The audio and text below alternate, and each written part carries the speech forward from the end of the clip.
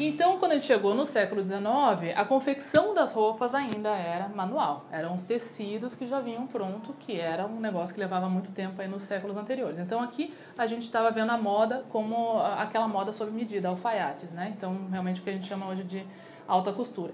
Então, alguns exemplos aqui são os alfaiates. Aqui você já vê que os tecidos são muitas opções. Isso era a muita opção do varejo de roupas, vamos dizer assim, com os alfaiates daí falando, olha, você pode usar essa cor, essa cor, essa cor tal. E pegava e fazia manualmente. Ainda isso no, no século XIX.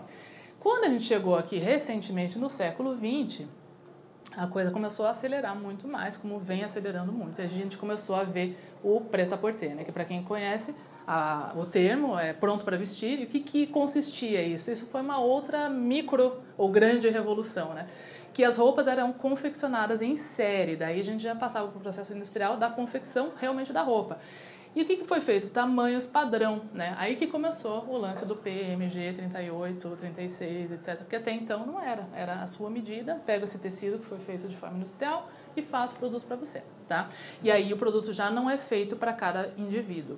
Num contexto social, esse produto ele acaba tendo que se tornar um pouco mais massificado naturalmente, porque eu faço um modelo que tem que vender para, sei lá, 100 pessoas, que é diferente de vir você aqui e fazer uma roupa aqui comigo. E aí a gente começa a ver muitos movimentos sociais, lembrando que tem que vender muito volume para pagar todas as máquinas lá que, que o pessoal estava desenvolvendo lá de tecnologia. Aqui a gente já começou a ter um volume de confecção maior, que foi crescendo, foi crescendo, foi crescendo. E começou, boom, né? Aí virou globalização em larga escala. Quando a gente chegou lá nos anos 80, mais ou menos, que as tecnologias de informação, comunicação, fax, telefone, começou a se tornar possível você fazer o quê? Ah, vou mandar fazer em outro lugar que é mais barato.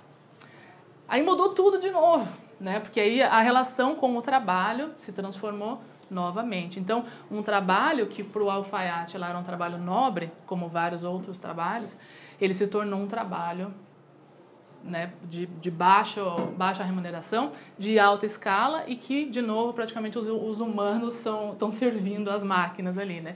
E isso foi acontecendo porque o custo da mão de obra nos países mais envolvidos foi subindo, né, os salários mínimos foram crescendo, e aí apareceu essa oportunidade. Olha que legal, tem países é, que são mais subdesenvolvidos, que tem gente que ganha muito menos lá, então a gente consegue fazer a mão de obra mais barata lá e trazer, porque a gente consegue falar com eles por fax, por telefone, coisa que antes, ali nos anos 70, não era possível, certo? Até então, tudo foi feito de uma forma meio inocente, certo? Então, assim, ah, legal, a gente está lá desenvolvendo a indústria do pessoal e tal. O problema com isso é que daí de novo a escala ela tem que aumentar ainda mais, porque o custo da produção é baixo, mas a gente tem uma série de outros custos e poluentes que é todo o transporte desse negócio aí no mundo inteiro. Porque aí você tem tecido sendo feito em Bangladesh e, e confecção feita na China e botão feito na, na, no Sri Lanka e aquilo vai, vai circulando por tudo por aí, tá?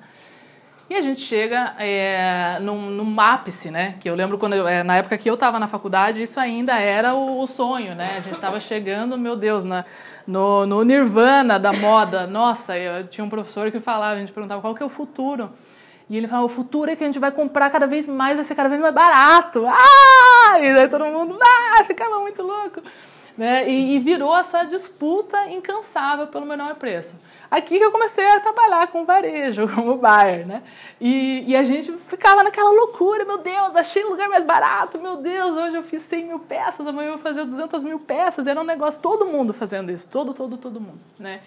E, e aquilo foi crescendo numa proporção meio desmedida aí já na época aí dos anos 2000. Continua acontecendo, mas agora a gente está vendo uma conscientização bem diferente do que era antes, tá? Deixa eu ver se ele está... A gente entrando agora no século 21, a gente já começou a ver né, uma nova era aí, né, o pessoal de, de astrologia já falando disso, que as pessoas estão questionando muito por que, que estamos fazendo todas essas coisas. Né? A, a globalização, a comunicação também juntou muitas pessoas né, de, de fora.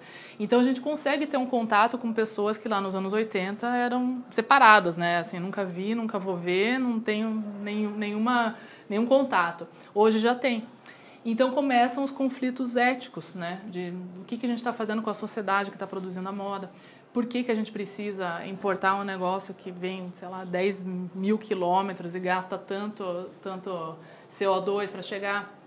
Quais são os impactos econômicos disso? Quem que está ganhando com isso? E até então o consumidor tinha sentimento que ele estava ganhando com isso, né? Porque eu estou comprando mais roupa mais barata. Então, que legal. E os varejistas também estavam ganhando com isso, né? Mas tinha outras pessoas que talvez não estavam. Alguns estavam, outros talvez não. Mas hoje as pessoas começam a questionar se está todo mundo feliz com a história toda. Né? Ninguém quer participar de alguma coisa que vai ter um impacto é, direto que a gente vai ter acesso a, a ver isso tudo né, hoje em dia. Então, os limites do modelo de produção em larga escala são muito questionados e a responsabilidade dos atores da cadeia. Atores da cadeia, para contextualizar, não é só o dono da fábrica, não é só o, o, dono da, do Walmart, né? São absolutamente todas as pessoas que estão ali no meio. O cara da logística, que põe esse negócio no container, o cara que está produzindo zíper, o cara que está produzindo tecido, que está produzindo elástico, é, enfim, e os próprios consumidores. E o marketing também, que está vendendo que, ah, olha que legal, é 4 dólares o negócio e tal. E os consumidores, né? Porque quando, se os consumidores param de comprar, tudo tem que mudar, porque ah, a gente fazia isso porque vendia, né? A hora que parasse de vender, a gente tinha um problema. Então, todo mundo é, crescendo nessa, nessa consciência.